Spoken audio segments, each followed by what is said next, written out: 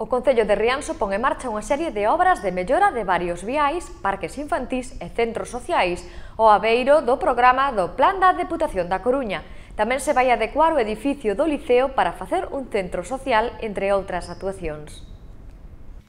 A mesa de contratación do Concello de Rianxo, que integra todos os grupos políticos, está a resolver nestes días a adjudicación dos diferentes proxectos de obras correspondentes a programas da Deputación Provincial dos Concellos.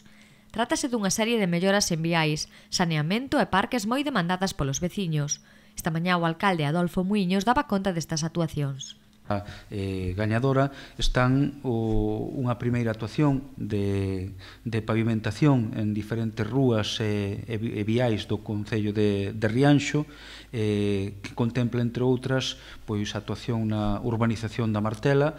nunha das saídas que probablemente estea máis destragada, que é a saída de Arcos Moldes, que vai recibir pois, efectivamente un, un novo tratamento de firme en quente, e máis tamén eh, unha actuación entre a Escola de Buía e a Estrada Xeral.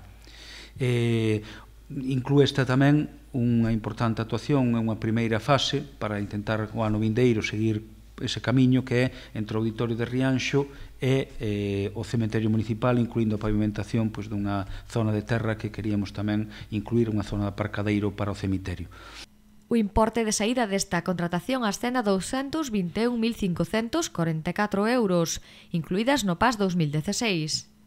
Nos vindeiros días tamén se vai adxudicar un paquete de obras para a mellora de pistas con 25 actuacións noutros tantos viais das parroquias de Rianso, cun importe de 149.511 euros e con cargo ao PAI 2015. Unha terceira contratación a piques de sepechar é a remodelación de áreas recreativas e pistas polideportivas descubertas, cun importe de 100.537 euros e con cargo ao PAS 2016 unha terceira contratación que está a piques de se pechar que é remodelación de áreas recreativas e pistas polideportivas descoberta con diferentes actuacións, entre outras, eh, unha nova área de xogos, a área de xogos que será un pouco a principal de, da parroquia das Asados que se vai realizar en Santa Lucía, vanse repoñer elementos de xogo no centro social ou escola, a antiga escola da, da Bacariza, e e actuacións en áreas deportivas como son a de Isorna, a Marquesa e a de Campo Maneiro en Tarragoña.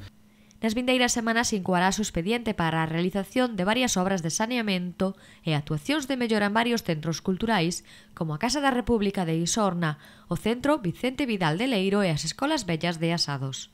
É un, eh, unha importante obra de saneamento que se vai realizar unindo dúas zonas que xa re, se realizaran previamente, que é o saneamento das Pedriñas Outeiro de Taragoña, con 189.000 euros, e máis Outeiro Barral de Asados por 93.000 Eh, estáse tamén traballando noutra obra que é eh, para mm, remodelar os centros socioculturais, entre esas a Casa da República de Isorna, a colocación de coberta no Centro Vicente Vidal de Leiro e tamén instalación de calefacción en, en asados. Outra actuación xa adxudicada é o futuro Centro Social de Rianxo no antigo Liceo, onde a actuación se van realizar de calefacción, repintado e instalación de baños na planta baixa do edificio por un importe de 57.475 euros. Tamén está xa aprobado por costas a instalación exterior no paseo marítimo dun ascensor que uniría as tres plantas do centro.